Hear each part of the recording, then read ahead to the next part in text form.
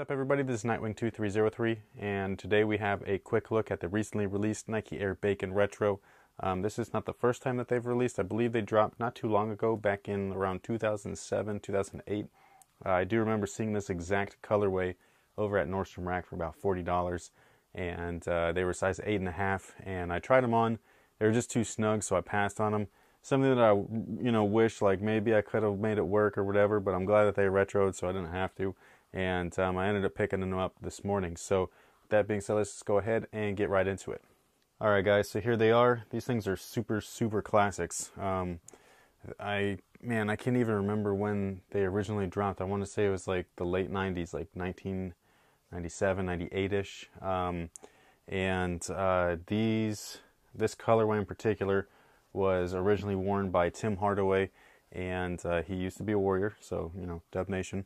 But um, he was actually playing for the uh, Miami Heat at the time uh, with Alonzo Mourning, and um, that dude was straight breaking ankles in these things, man. And I don't even know how, because I'll go into their construction a little bit, but um, uh, but yeah, that that guy was just a monster. His crossover, they used to call it the killer crossover, and um, it was not even a extremely uh, like complicated crossover. It was actually just a very simple one-two, uh, left right or left uh, left right or right left. Sorry.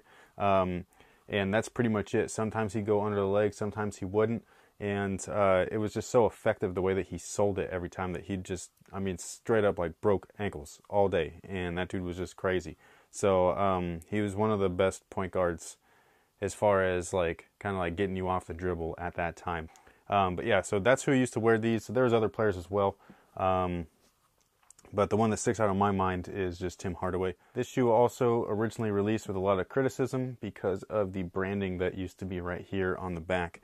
Um, as you can see, it says Nike Air now, but uh, back in the day, it actually just said Air, and it was kind of like in flames. Um, that was the, the way that it was supposed to look, and um, they ended up recalling all of the shoes that had that kind of branding on it because um, I want to say it's Muslims, but I'm I really don't know anything about like that kind of culture, so I don't want to like put my foot in my mouth. But basically, all I know is that um, I guess it looked like the word Allah, but on fire, and so you know a certain group got like really uh, offended by it and everything. So Nike had to recall them. There's still there were still pairs floating around and everything. Like people would sell them on eBay or they'd pop up on eBay here and there. But um, that was uh, I guess their original kind of like backstory and stuff uh, to this shoe, uh, my, the Tim Hardaway, you know, memories, and then also uh, the whole recall issue with the branding and everything. So, so as far as a basketball shoe, I was originally going to wear test these, and um, I since have decided not to. I think I'm just going to wear these casually, um, mostly because they just I already know that they just don't offer what I want personally, and um, you know, with that, I'm probably not going to be too happy of a camper uh, playing in these guys here. Um, mostly my knees. I'm just getting at an age where like certain things just won't work with me. So, um, and it's basically because it's like gigantic rubber midsole, which extends practically full length. It is broken up here on the inside where you could see some of the Phylon and everything, but the Phylon's real dense too. And uh, there is an embedded uh, air sole unit in the forefoot. Um, at least that's what I believe I felt. And then you obviously have this one uh, larger one in the heel. So that's their, their cushion.